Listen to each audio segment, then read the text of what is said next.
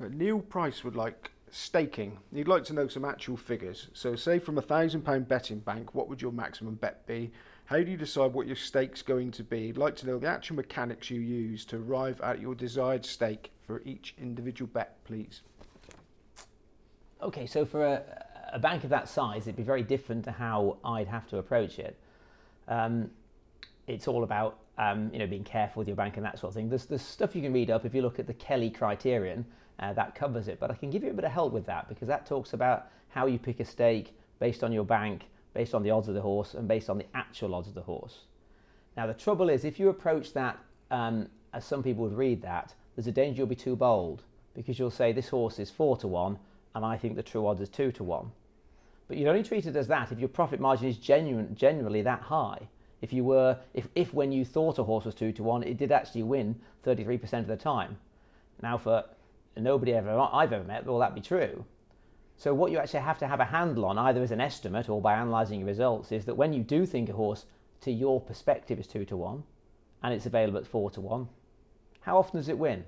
Or what percentage profit do you make in that situation? So if, for example, you believe that you're that there's a margin of 10% when you take that price, or it might be that you're taking a price very early because you're able to get on at five. You might believe there's a 20% profit margin, but you've got to base your profit margin not on your perception of how you some how you've assessed the price, but instead on what is a realistic estimate of what the price is based on what you think, and that that will mean that, your estimate of the true odds will be closer to the actual odds uh, than just than just your own opinion. But if you put that thought into it have a look at the Kelly criterion. For me, it's a different challenge because as time's gone on, the bookmakers have got wary of, of bigger bets, uh, and obviously, I've you know I, I, I, my betting bank, if you like, has, has increased.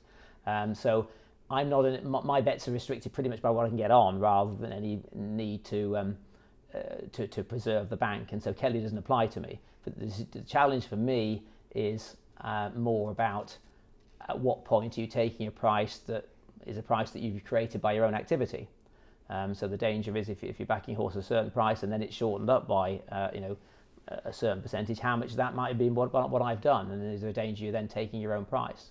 Um, so those sorts of considerations, and the other consideration at, at, at, the higher staking level is you don't always want to, to necessarily maximise your profit in that race. It may well be that a more subtle approach might make it easier to get your bets on the next day, the next month, or whatever. So um, yeah, th- those sort of nuanced considerations come in you know, at the higher staking levels. And I'm just got to chip in here from a personal interest. Would you not factor in your worst losing run and take that into account when you're picking your stakes? Yeah, well, the Kelly thing will give you things, but your actual worst losing run will be uh, yeah, affected by random factors. So the, the, the Kelly's more of a calculation based on average expectations.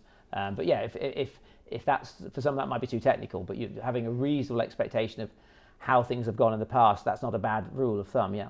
Okay, right, Brazza72. It says Patrick's won a lot of money gambling, but does he think possibly his insistence on making decisions alone has held back his profit and loss compared to punters like Alan Woods, Bill Benter, and Joko, who built huge team syndicates to split the work and assess many different variables?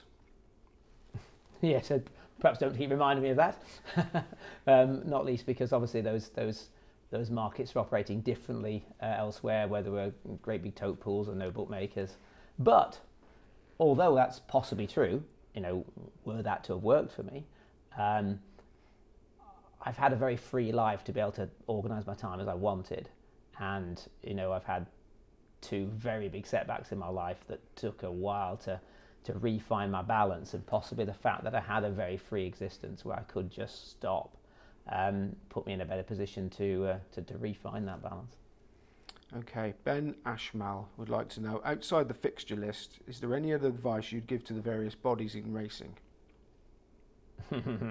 well, people like the fact that I had a list before, so, so I have another list. but we'll just briefly go back to fixtures. Sorry about this. Um, we have heard back from the, from the bookmaking industry, and there has been some talk on this subject.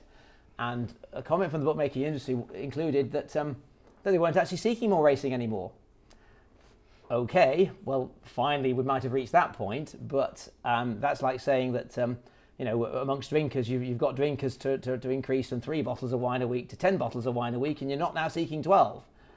It's quite a good analogy, actually, because 10 bottles of wine a week, you can survive for quite a long time, but you are probably doomed in the end. Um, so there's a comparison there. Um, yeah, uh, it's still way too many bottles of wine. And um, particularly fitting at the moment, I thought last week, Simon, that there were 31 flat meetings. It was a week with no jump racing, you know, I'm a bit of a fan of that, um, the, the, concept of a break. Um, but yeah, they didn't need to fill in with not only all the jumps fixtures that you would have expected, but extra flat ones as well. Um, and so early in the season, you're basically passing a message to the punters there of be under no illusion. You have no hope of keeping up with all this.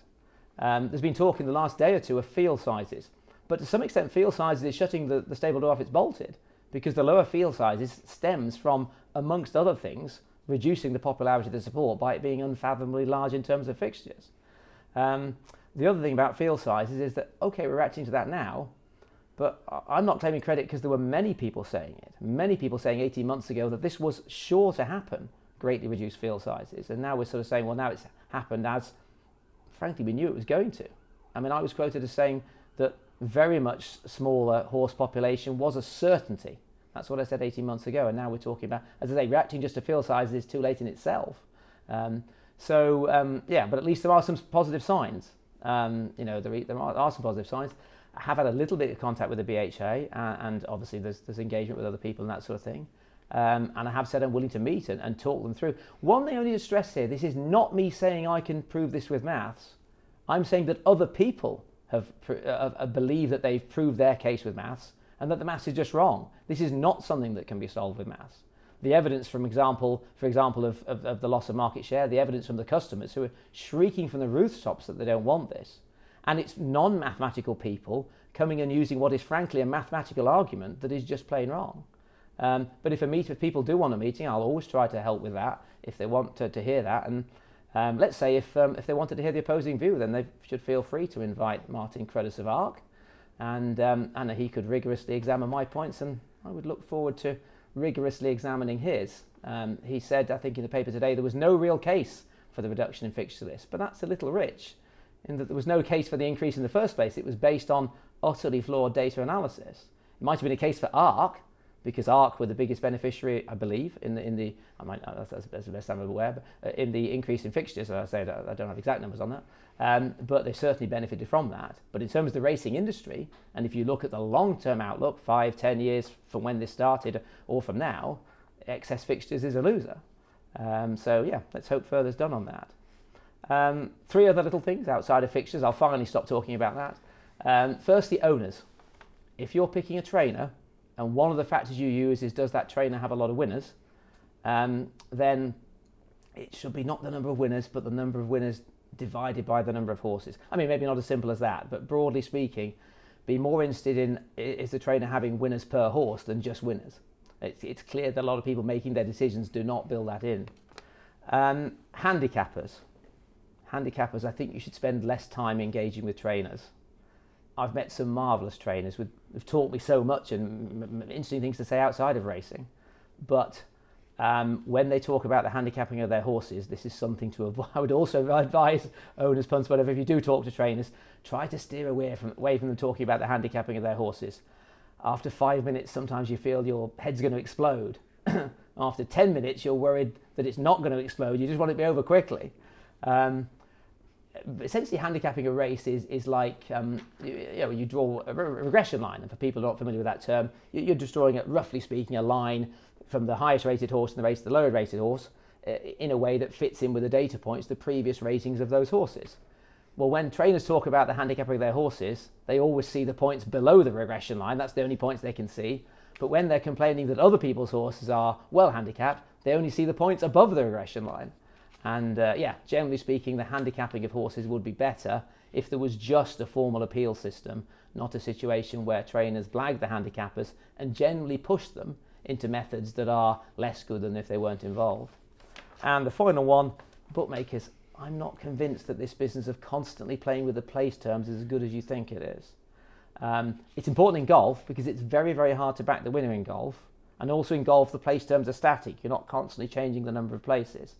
But this business, if it starts out, you're expecting a quarter, first three, then you're getting a boost to a fifth, first four, and then there's a non-runner, so you're back worse than you started. and combined with a situation of I'm not sure this is being thought through that sort of some of the customers are going to be really irritated when you say those terms aren't available for them or you don't lay an each way bet, not just to the pros or the sharpies. I'm just not sure this is as good as they think it is. It's making it overcomplicated. And the customers you really want are the ones that only really care about the price and don't even think about place fractions. It's not the same as golf where 10 places is really important. Punters are slightly in horse racing more focused on backing a winner. I think they're doing too much on that. Okay. Uh, now Shane has got the double up. He's got another question. Um, how would you go about growing a small bank into something semi-pro from scratch in the modern betting world?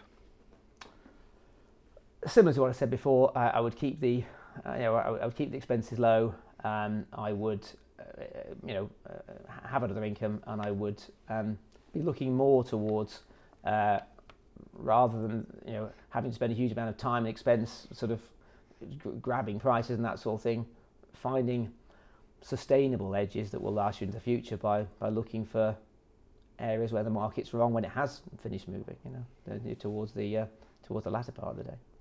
Okay, um, Peter Robinson, where do you place the most emphasis on, or how do you rank the following in relation to a horse's chance? Trainer, jockey course, surface going, trip, handicap mark, information, price, perceived value, left hand, right hand, straight versus round course, all the above are all the above assessed in the equation. In fact, how do you pick your winners? um, well, that's as I sort of touched on the previous time. It's not an answer I can give because it's all about value. It's not about which is the most important factor. You can have one of those things. It might be the fourth most important, but if it, but it, but if it's the one where you're finding value, um, even if it doesn't, you know, then then that's more interesting. But the trouble is that if rightly or wrongly people have got some respect for my opinion, if I said, oh, my favourite thing is jockey, I think there's a real edge there, even if I didn't explain how I did it, by attracting more attention to that, that, that side of things, then obviously prices would go down. Prices would go down about those where there was a, a you know, a, an underestimated factor. Um, so, so within days or weeks of me making that statement, the value would ebb away. And, and, and because in the modern world you have to have lots of edges to, to do sufficiently well, um, yeah, you're just in a situation where the value would erode. Um, I did comment on this slightly more back in the day when I wrote the book because I was commenting on things that had worked in the past. So I was able to talk quite a bit about draw biases because they were something that was easy to make money with, you know, sort of many years ago.